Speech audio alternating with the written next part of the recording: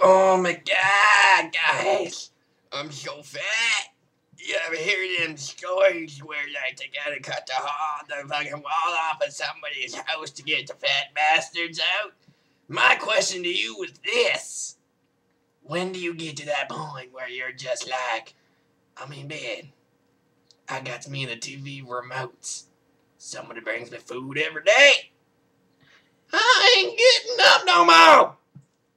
When do you hit that point where you're just like, I'm going to bed in two years? Well, when you just lay there and be like, that's it. Keep my.